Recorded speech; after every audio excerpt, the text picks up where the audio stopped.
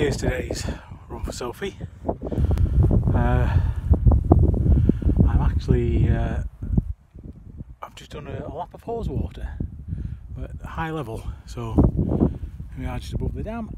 I've been up there, on the back, Selside and Branstree, and Harter Fell, Mardale Bell, um, High Street, and right round the back, Rampsgill Head and Raise.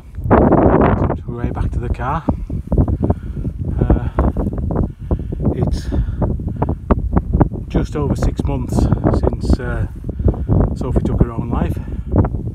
And all these runs have been done in her memory.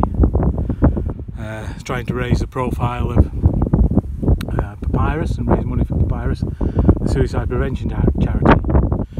It's also just two days since George, Soph's mum, got back from walking the uh, Camino, a 500 mile, 800 kilometre walk across northern Spain.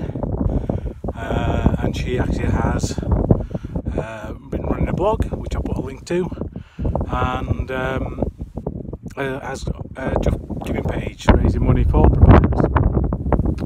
So please take time to uh, look at the blog and uh, just give if you can. Um, it costs Papyrus £5 to take any call on their Hope line and they get 1500 of those a month so uh, every little does help and uh, whatever you can give could could save a life. Oh thank you very much. Right back to the car